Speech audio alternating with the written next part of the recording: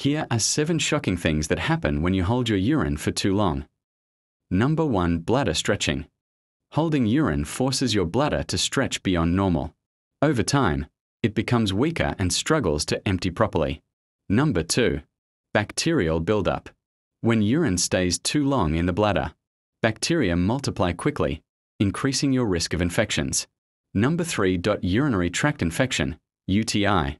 This is the most common effect. You may start feeling burning, pain, or a constant urge to pee. Number 4. Kidney backflow. If pressure becomes too high, urine can push backward toward your kidneys, a condition that can cause serious kidney damage. Number 5 bladder pain and spasms. The longer you hold it, the more the bladder muscles tighten, causing sharp pelvic pain and uncontrollable spasms. Number 6. Weak bladder control. Repeatedly holding urine can weaken the sphincter muscles, leading to leakage or difficulty holding pee in the future.